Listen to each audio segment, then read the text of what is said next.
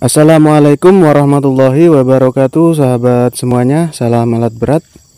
Oke sahabat semuanya video kali ini saya ingin mencoba menjawab ya. Pertanyaan dari sahabat kita tentang hidrolik breaker ya sahabat semuanya.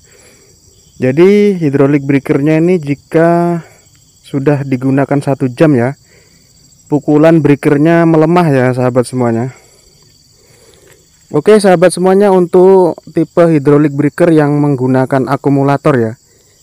Jika terjadi kendala seperti ini menurut pengalaman pribadi saya ya Jadi ada kerusakan di akumulator sini ya. Jadi seal diafragma ataupun yang biasa disebut dengan membran Atau biasa juga disebut dengan seal mangkok ya sahabat semuanya Karena bentuknya seperti mangkok ya sahabat semuanya jadi jika terjadi kebocoran sekecil apa pun ya walaupun selubang jarum ini kendalanya seperti ini ya sahabat semuanya.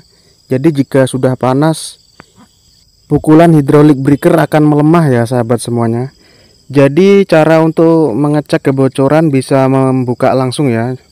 Kita buka, kita lepas akumulator ya. Sebelum melepas jangan lupa dibuang dulu nitrogennya ya sahabat semuanya karena berbahaya jika masih ada nitrogen di dalam akumulator ini ya.